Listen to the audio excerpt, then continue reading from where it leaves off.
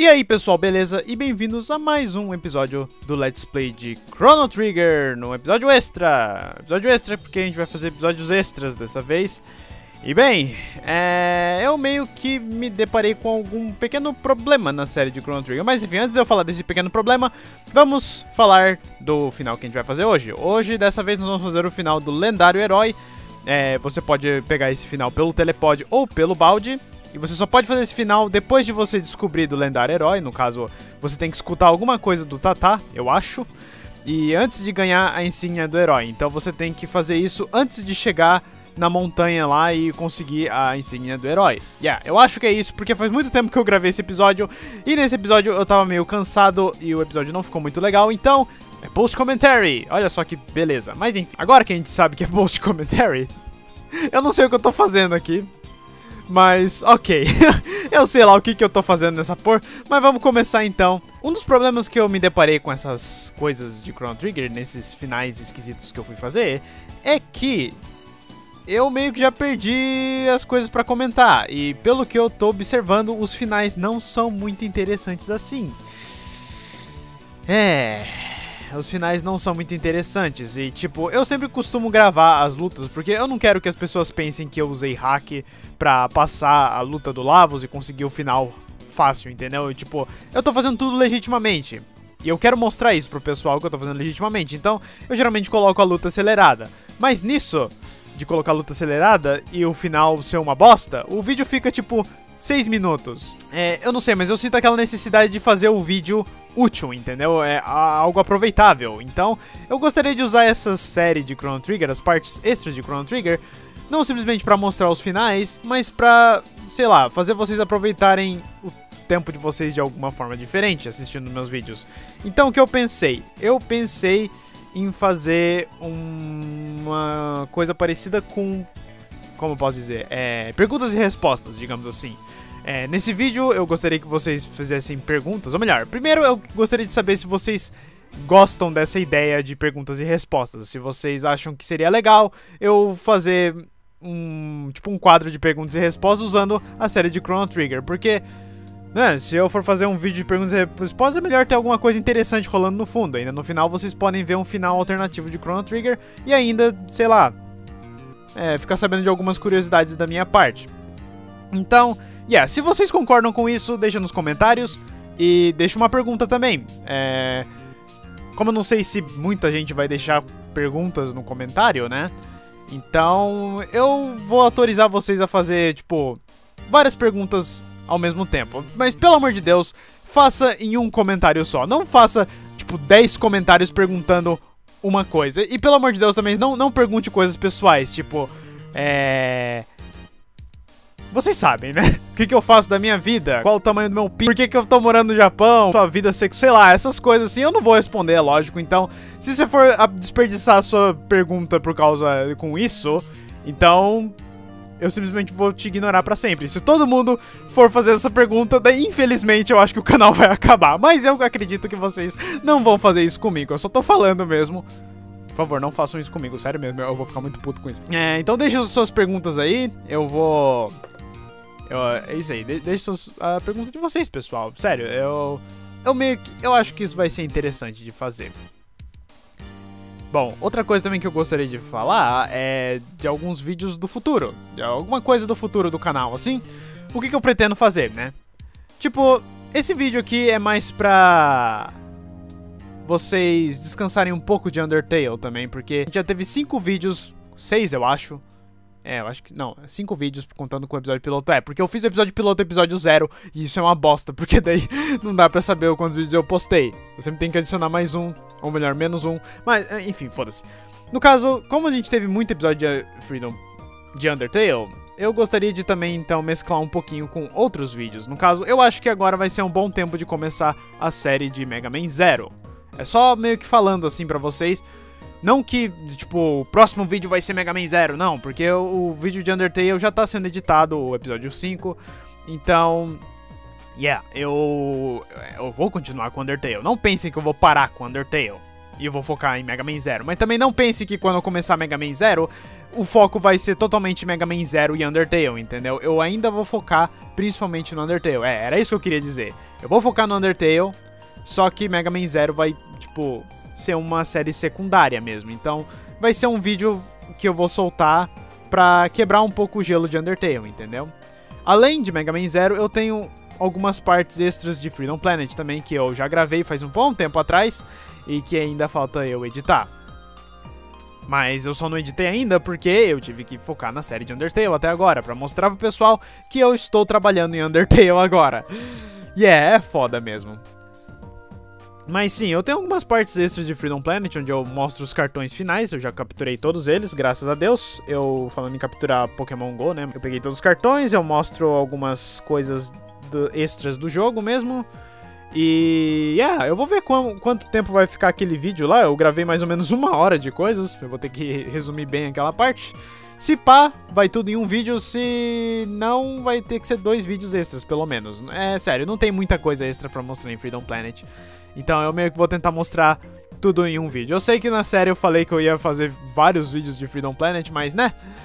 Eu meio que percebo que não é todo mundo que gosta de Freedom Planet, eu sei disso. Por mais que eu ame o jogo, eu acho que, tipo, não é legal ficar mostrando só um jogo que eu gosto, entendeu? E é isso aí, eu acho isso mesmo. Bom, e, bom, agora que eu falei disso também, hein? Hum, eu agora acho que não tenho mais nada pra falar. Eu tenho agora coisas para falar de outras coisas, mas não exatamente de coisas para falar. É, eu também não posso também falar todos os meus planos malignos aqui, porque senão o pessoal vai ficar tipo... Fuck, fuck it, eles vão saber tudo, e daí vão começar a me cobrar. Mas eu posso dizer que eu tenho várias coisas planejadas aqui, e muitas coisas ainda não, não tiveram futuro, porque de repente eu tive uma explosão de ideias, e tipo, eu tô com uns quatro scripts aqui, quase prontos, mas eu ainda não decidi o que, que eu vou fazer primeiro. foda, foda pra caramba. Mas ok, então, já que eu já falei de tudo que era importante da minha vida aqui, já dei a ideia do, da perguntas e respostas. Eu já dei a, eu já falei o que eu vou fazer com o Chrono Trigger daqui pra frente. Eu já falei que eu vou quebrar um pouco o gelo de Undertale com Mega Man Zero. Eu já falei de Freedom Planet. Então eu vou falar de algumas coisas que aconteceu recentemente comigo. Uma das coisas que mais me me surpreendeu foi Sonic Mania. E puta merda, Sonic Mania, cara. Eu. Eu não esperava que o Sonic. Que eles iam fazer um jogo daquilo ali, mano. Porque, sério. Sério, eu. Nossa senhora, cara. Quando eu vi o trailer. E quando eu assisti o trailer até o fim, mano. Tipo. Pensa num cara que chorou. Mas que chorou de verdade. Tipo, não, não foi choro igual igual, tipo, quando uma lágrima simplesmente escorre do seu olho, sabe? Você, tipo, só, só uma lágrima escolhe, escorreu. Não foi assim, cara. Eu chorei de verdade. Foi tipo. Fuck, mano. Eu, eu, porra, eu, a última vez que eu chorei com Sonic foi no final do Sonic Adventure 2. Porque todo mundo sabe o que acontece naquele final do jogo. Mas. Porra, cara. Porra! E, tipo assim, o, o, choro que eu fiz no Sonic Adventure 2 foi um choro normal, entendeu? Tipo, lágrima simplesmente escorreu. Eu, mas. Caraca, mano. Puta, puta merda, mano. Fucking Sonic Mania. E Freedom Planet tem, tem competição agora. Sério mesmo, eu acho que agora Sonic finalmente chegou no nível que ele precisava ficar. Porque antes disso, Freedom Planet pegou o lugar do Sonic, mas agora é, é foda. Eu realmente tô animado. E é incrível que eu não falo muito de Sonic no meu canal, mas eu sou um grande fã de Sonic. Por incrível que pareça. E tipo assim, eu parei de. Eu acompanhei o Sonic por um bom tempo na durante a minha vida, né? Sei lá, eu, eu comprava vários jogos do Sonic. Tudo que tinha Sonic eu comprava, porque Sonic era bom na minha cabeça. Mas hoje em dia eu olho e falo assim, meu Deus, cara, eu acho que o, o único Sonic que eu realmente gostei da minha vida inteira foi Sonic Adventure 2. Ver o Sonic Mania foi meio que relembrar Sonic Adventure 2. Foi muito esquisito isso. E apesar de Sonic Adventure 2 e Sonic Mania ter um estilo diferente, eu senti uma força muito grande naquele negócio. É, é, é estranho, cara. É estranho. Esse vídeo já nem é mais de Chrono Trigger e de coisas do meu canal, é simplesmente Sonic Money agora. Mas é, eu... Bom, agora eu já não tenho muito o que dizer. É...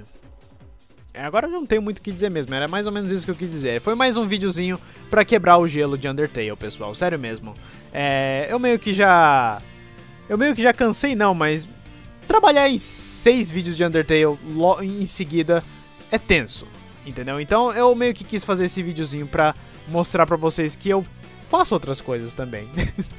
e que eu não posso ficar só em Undertale também. Eu tenho que, que dar uma continuidade na série de Chrono Trigger também. Que eu falei, eu vou fazer todos os finais, então eu vou fazer os finais.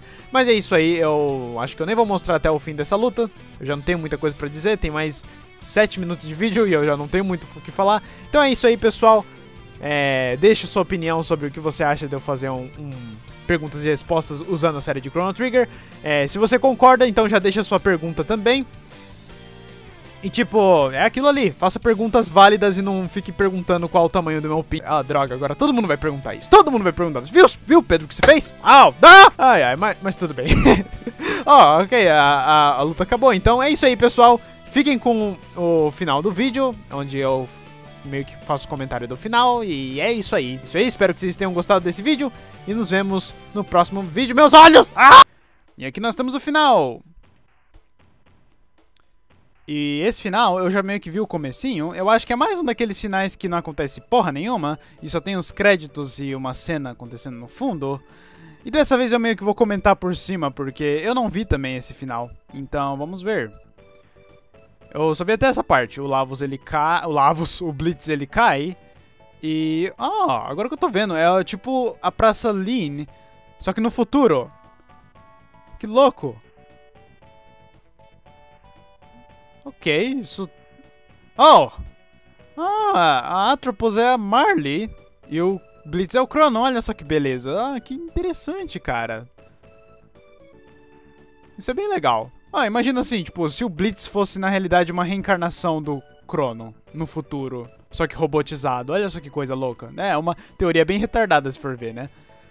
Ok, qual é a próxima cena? Se aquela for a única cena, eu, eu juro que, tipo, eu não sei o que eu vou fazer com a série com essa série de vários finais. Ah, tá, ok. Ele mostra eles... Aí, peraí. Se o planeta tem plantas, quer dizer que tá tudo bem. Yeah, tá tudo bem! Que coisa boa!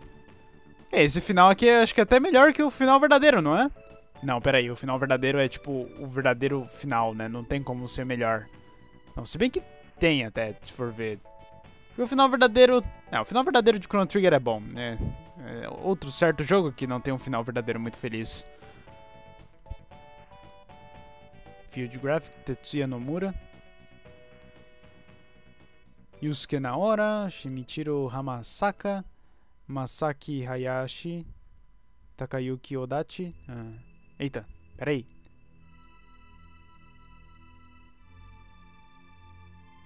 Eita, porra, que que música! Uau! Pera aí, aquele era o Tatá.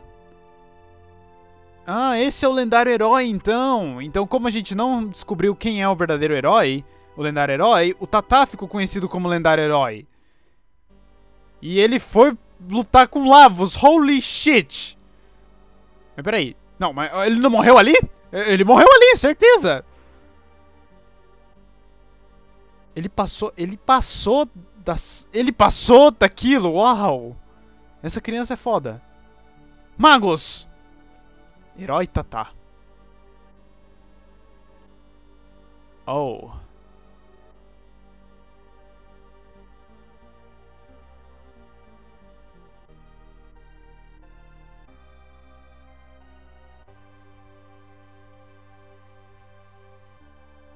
What? Remake stuff? What the fuck? Como assim remake? Esse, esse é o original.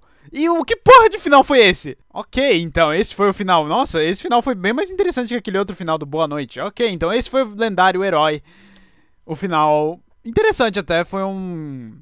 Uma versão alternativa do fim da história bem legal até. Eu gostei da parte do Blitz e da Atropos. Aquilo lá foi bem legal. Bom, mas é isso aí então. Eu acho que vou ficando por aqui. Eu espero que vocês tenham gostado dessa, desse vídeo também. Foi mais uma vez um vídeo simples. É, eu tô de férias na realidade, eu não quero ficar editando muita coisa, então por isso que eu postei vídeos bem simples assim, mas não se preocupem. O próximo vídeo eu prometo que vai ser de Undertale e vocês vão ficar felizes porque eu estou fazendo genocide.